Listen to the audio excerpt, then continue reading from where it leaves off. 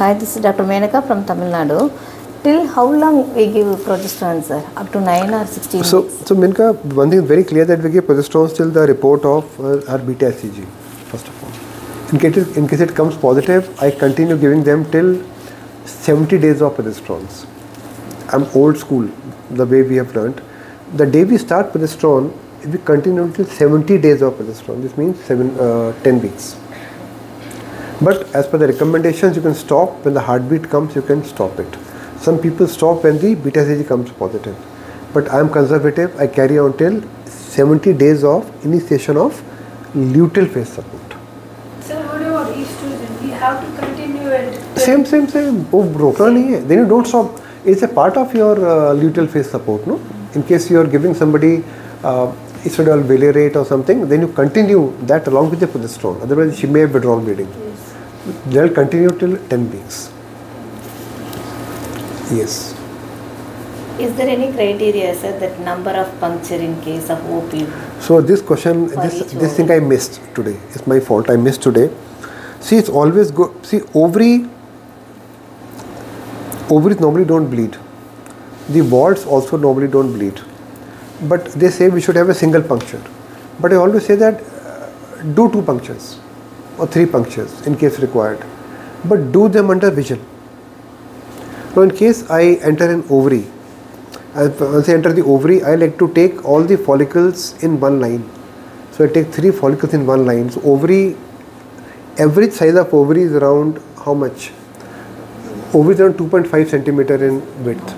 So when the ovary is stimulated, it has it has got now around uh, 10 12 follicles. So ovary will become how much? It will become 2 centimeter, 2 centimeter, 2 centimeter, 2 2 2. It's around 6 or 7 centimeter big. So once, once you take one follicle, the other follicle will come towards your needle. So you take three follicles in one go, you come back, then you micro tilt, go to three or four follicles, come back at the at the ovarian cortex level, then go to the other three follicles. So don't try to move in case ovary is not getting rotated or ovary has uh, got a problem.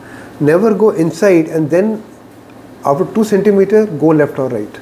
Because the vision of your ultrasound probe is how much? Is barely 6 centimeter. So don't try to go to the middle of the ovary and then start moving your needle because that will lacerate the ovary.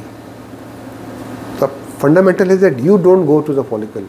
Let the follicles come near you so i take three follicles that the ovary now the ovarian cortex will pull the ovary towards me as the follicle fluid comes out comes out from these two three follicles.